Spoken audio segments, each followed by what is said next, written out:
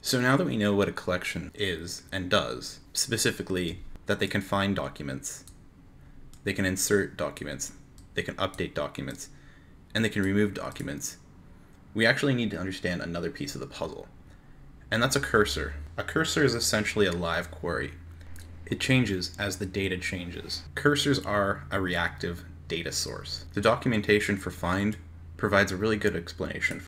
It does not immediately access the database or return documents. Cursors provide fetch to return all the matching documents, and map and for each to iterate over all the matching documents, and observe and observe changes to register callbacks when the set of matching document changes. You can think of a cursor as being a placeholder.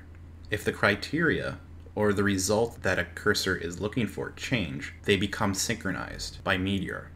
That's pretty awesome.